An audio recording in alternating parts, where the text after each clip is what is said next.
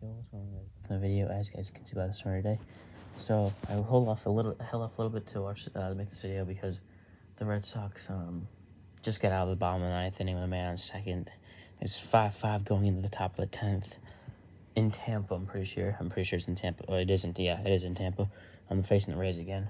Um, but also, um, there's a gonna be a video coming out tomorrow that I would suggest you watch if you're interested at all in the gaming stuff.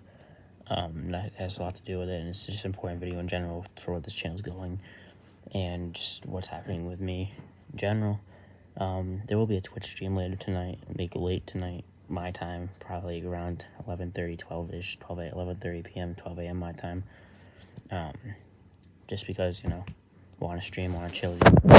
Um, I haven't streamed for real, and I haven't streamed in a while, so, um, yeah. Hope you guys enjoyed this video, and as always, I'll see you guys in the next one. Peace out.